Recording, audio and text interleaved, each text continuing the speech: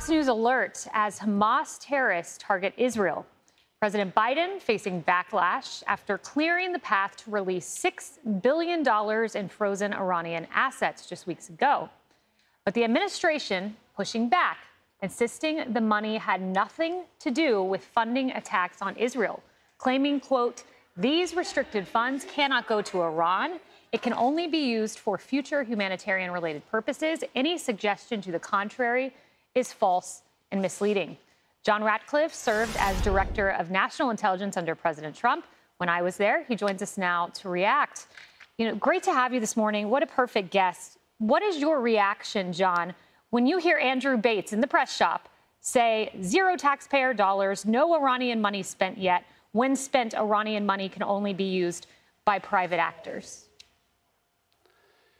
My reaction, Kayleigh, is um, as it has been from day one, those words ring hollow from the Biden administration. They're disingenuous um, at best. Look, it's it's not even just this six billion dollars, uh, which which clearly is going to further enrich uh, Iran. It's closer to sixty billion dollars. If you look at what what the Biden administration has done to help this Islamic uh, uh terrorist regime in Iran by uh, stop enforcing sanctions, by lifting restrictions, by allowing Iranian oil to uh, increase by 650% over the last two years, from 400,000 uh, barrels of oil a day to 3 uh, million barrels of oil a day. All of this has uh, strengthened an Iranian regime that you know, Kayleigh, we left. Um, weaker and poorer than it had been in the last 20 years. And instead, they've largely been funded by uh, the Biden administration's actions in allowing them to uh, strengthen their position and to create this kind of mayhem.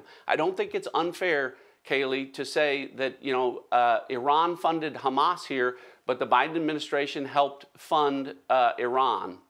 There's no doubt about it. I mean, when you and I were in the administration, September of 2020, we all sat on the south lawn of the White House and we watched Bahrain and UAE normalize relations with Israel. First time we'd had any peace accord like that since 1996. It was a day of celebration. Are you surprised? Fast forward, that was September of 2020. We're September of 2023. You have war in Israel. Is this a change in leadership? I mean, it seems pretty clear.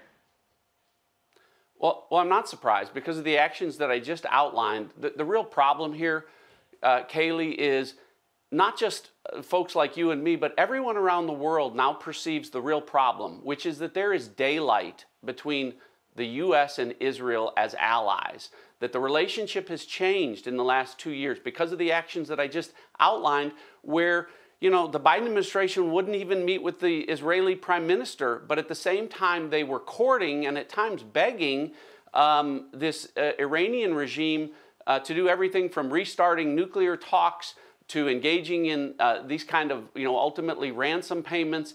And, you know, and ultimately everyone sees that in the Middle East. And that is, is really what has, is uh, playing out here before us right now. Iran wanted a lethal injection into the normalization and the extension of the Abraham Accords and the possible uh, normalization of uh, relations between Israel and Saudi Arabia, and they have accomplished it. So, if you were president right now, if we were still in the administration, what would you do today in reaction to what we saw play out yesterday at 6:30 a.m.? Yeah, unfortunately, what I would do is not what's going to happen here, which is that Israel and Saudi Arabia are not going to get the kind of assurances and guarantees that they need to make sure that Iran doesn't get what they want, to make sure that the normalization of those relations and the further building of uh, Arab partners for Israel occurs. And the U.S., with strong leadership, can do that. Obviously, you just outlined, Kayleigh, we saw it work. It could continue to work, um, but it's not going to happen. I'm sorry. It's not going to happen in the next year and a half in, in this administration because no one believes the authenticity of the Biden administration when it comes to saying we stand with Israel. They haven't stood with Israel for two and a half years. They've stood closer to Iran than they have to Israel, and that's why we have uh, mayhem and war in the Middle East. Yeah, gone are, uh, gone are the days of peace through strength. Uh, John Ratcliffe, thank you very much. You bet. Great to see you, Kayleigh. Good to see you. I'm Steve Doocy. I'm Brian Kilmeade. And I'm Ainsley Earhardt. And click here to subscribe to the Fox News YouTube page to catch our hottest interviews and most compelling analysis.